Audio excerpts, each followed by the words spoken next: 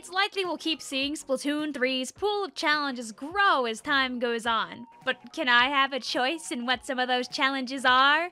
Please? I've crafted 15 options for new challenges that honestly, Nintendo, you can have them. Here, here.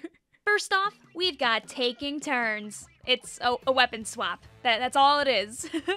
Whenever you get splatted, the person that splatted you, not the person who got the assists, will automatically switch weapons with you. So let's say you're playing Splatana Wiper and your opponent has a splatter shot.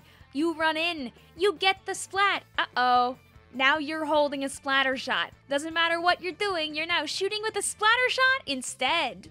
Weirdly enough, there could be some amount of strategy to this. Imagine purposely picking your game to start with you playing the Neo Splash-o-matic, just so you can run in there and take some weapon away from one of your opponents.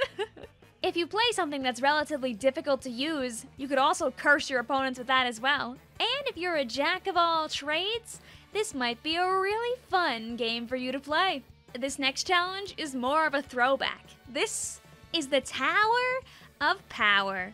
It's original tower control with no checkpoints, but if you're splatted on the tower, you respawn like you have respawn Punisher equipped.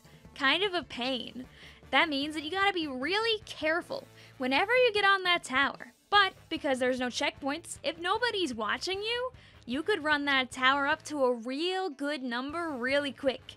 Just uh just hope the enemy team doesn't have too many bombs or like a charger or something. Or if you see somebody coming, get off of the tower. So when you get splatted, you still get to take advantage of stuff like your QR. This one might be one of my favorites just because it like rewards people who get a little too wacky and make a run for it. This is Them's the Breaks, where any clam is able to automatically enter the basket, breaking it for your team. But super clams are now worth 30 points just to make sure they're not irrelevant. To prevent an instant KO, knockout conditions here have been increased to 150 points instead of the usual 100. Only one team can have their basket open at a time, so of course keep that in mind. I don't know, man, if I'm playing this, I'm on the brush. I'm going. I'm going. You can't stop me. I'm gonna get splatted like 10 times, but it's gonna feel good when I'm the one that's breaking the basket. Yes. there would be an extreme amount of value in a game like this to run quick super jump and also just have people jumping on over to you. Okay, okay, I got a goofy and silly one. This is Hat Potato. It's a Rainmaker mode in which when you are splatted, the Rainmaker instantaneously switches hands. the only time it can go back to the center is if both teams wipe out at once. The only way for it to be on the floor is at a checkpoint, you know, when it's first broken. Otherwise, the Rainmaker is always in play. From the moment that Rainmaker is first touched, it's go, go, go. It could be very dangerous, but it could also be very fun. Uh, make sure you don't wipe out, because the enemy team's just gonna get to go right away. It's basically Rainmaker if there weren't the precautions in the way that prevent people from instantly starting to push. Next up, welcome to Swim or Sink. What's up with that title? Well, you better start swimming more often, because anytime that you're not in the ink, you're taking a little bit of damage. Think about what happens when you're standing in enemy ink. You get slowed down, you take a bit of damage, you don't want to be there. Well, in this mode, you won't get slowed down, but you will be taking continuous small amounts of damage anytime that you're not submerged in your own ink. What a pain! A mode like this would be really fun for some weapons that get pretty close to hitting certain thresholds, like let's say weapons that do 32 damage a shot or 24 damage a shot, just not enough to be able to get to that next point. It'd be easy to pick people off on accident this way. Also, remember that one of the gimmicks of Splatoon is any time that someone is damaged, you can see them on your minimap. Sounds like free point sensors to me. this next one is just called Cannonball. it's because every single super jump automatically ends with a splashdown. Can you take advantage of this and just jump to one of your teammates that's right next to you during a push? Absolutely.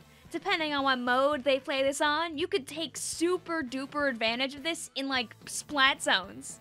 Hopefully you don't get splatted after you land though, because that could still happen. Once you're done super jumping, you're just there. Be careful. If you're not a fan of the swapping that went on with taking turns, maybe you'd be more of a fan of switcheroo.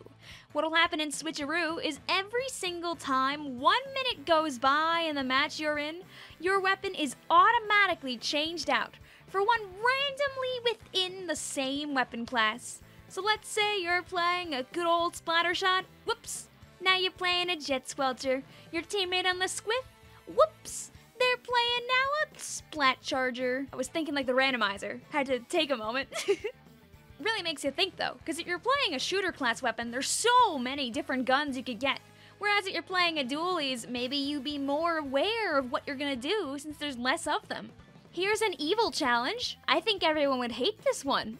Welcome to Squared. Every single splat zone has been split into four even pieces.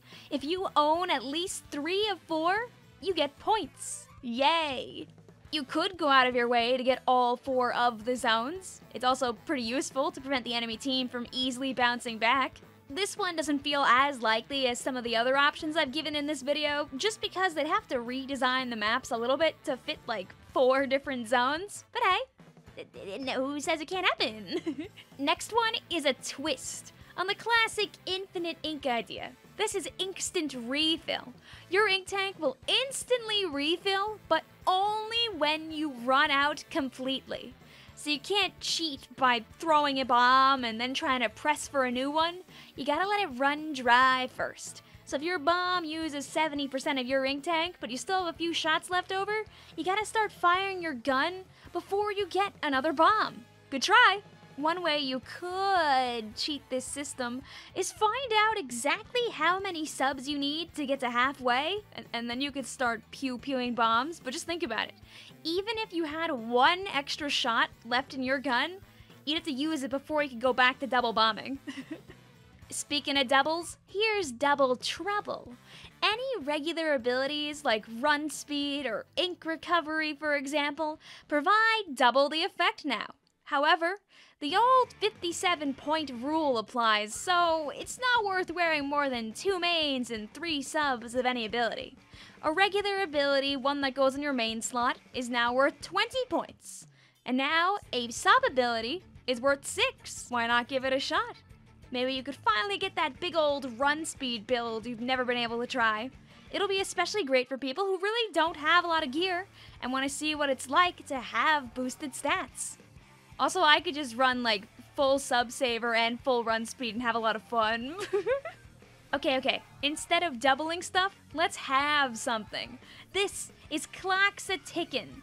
The amount of time in a ranked game, cut in half. Every minute counts. It's better than making the score tick twice as fast because lockouts would lead to very, very quick game overs. No more of all this, oh, you know, if I just had one minute more in the game, I could have turned this. No. No, you don't get that. You don't get that. The game's over in 2 minutes and 30 seconds. Better go. This next challenge is just a little bit evil.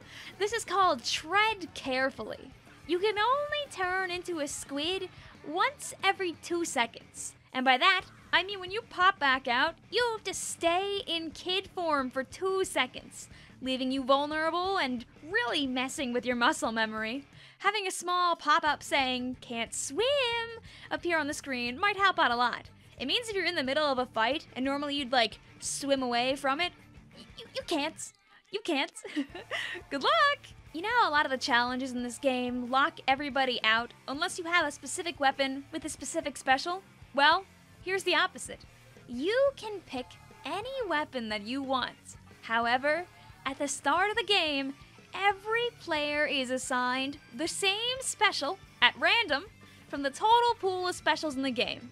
Because you keep the same main and sub, you might want to plan your strategy with your teammates around the weapons you're using and not as much around the special. You can get anything from quad wavebreaker to quad cooler to like four inkjets. And finally, I think this one brings up the silly factor just right. This one's called What's in My Pocket. It's simply that every single time that you get splatted, you get a brand new sub-weapon. Otherwise, game is 100% normal. So it's kind of like unless, but a little bit different, because your sub weapon is always changing.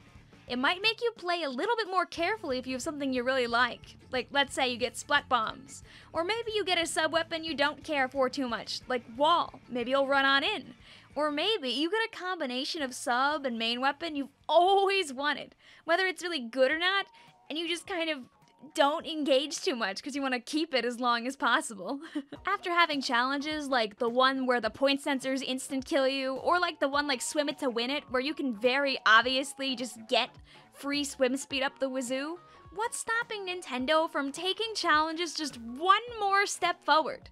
That's why I really feel like any of the challenges I mentioned here today really are possible. Let me know some other challenge ideas you've had in the comments below. I don't know, maybe we can make another one of these sometime if you enjoy them. Thank you for listening, and make sure to subscribe for more Splatoon shenanigans in the future.